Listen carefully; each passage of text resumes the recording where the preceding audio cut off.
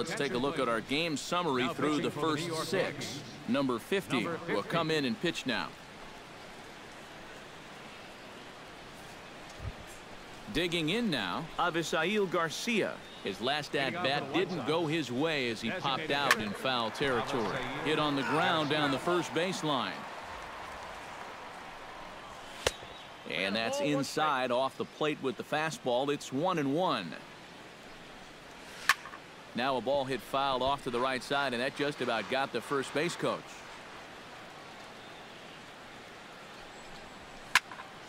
Late making contact on that swing, and will do it again on one and two.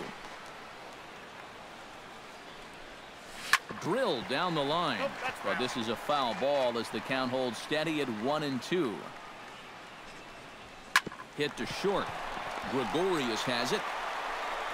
And a bit of a high throw that time, but no problem over there at first as they record the out. Center fielder number 10. So one gone in the inning now, and here's the center fielder, Austin Jackson.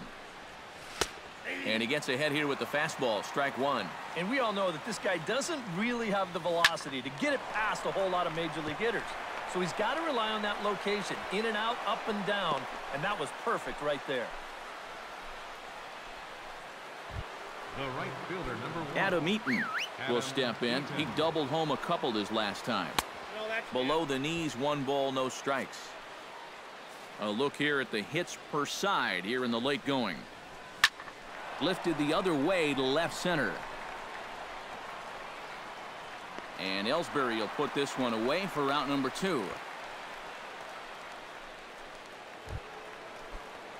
Melky Cabrera ready for another at-bat now. He's two for three so far.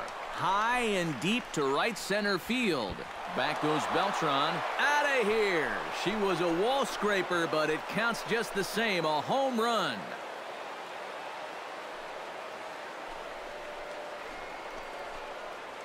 A two-run shot for Melky Cabrera. Eighth home run on the season for him, and it's now a six-to-one ball game. This is a situation where you wonder how much of his concentration is on first base and how much of it is on home plate. Because if you're not... And the throw is in time to get him to retire the side. Ladies and gentlemen. Two in the inning for the Sox, however. They come on this two-run home run. Bottom of the seventh inning coming up. Get up and stretch. It's the White Sox six and the Yankees.